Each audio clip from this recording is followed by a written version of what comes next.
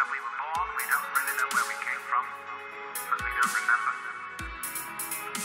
And we think when we die, that's just going to be that. Some people console themselves with the idea that they're going to heaven, or that they're going to be reincarnated, or they're going to another land, or something else. People don't really believe that. But for most people,